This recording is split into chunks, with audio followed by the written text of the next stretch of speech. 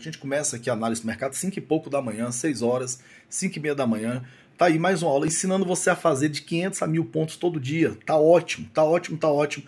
Casamos hoje o MACD, confluência aqui ó, do MACD, MACD. Ensinamos você aqui ó, nessa aula o MACD, é, o fluxo, você trabalhar aqui ó, com as batidas, né? As batidas aqui ó, perfeitas, galera. Perfeito, tudo perfeito, ó tudo perfeito, subindo, batida no Times in Trade. Então, assim, nossa missão é ensinar você a comprar lá no fundo. Olha, olha aqui, olha essa compra. Comprar lá no fundo, né? Vender no topo. Se no topo, chegou no topo, tem fluxo comprador, não é segura.